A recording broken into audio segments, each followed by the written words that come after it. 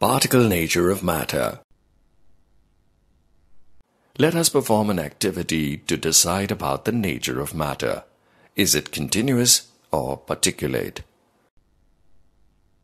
Let us dissolve some salt in a beaker which is half full and see what happens. What happens? We find that there is no increase in the level of water in the beaker. Where has the salt gone? The salt particles have occupied the space between the water particles. Thus, matter is not continuous. Matter is composed of elements. An element is a substance which cannot be subdivided into two or more simpler substances by any chemical means.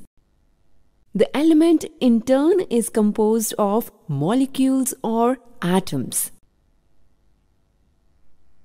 An atom is defined as the smallest unit of an element.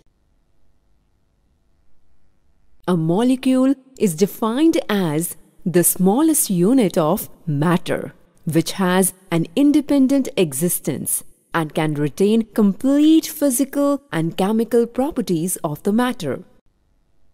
For example, a molecule of water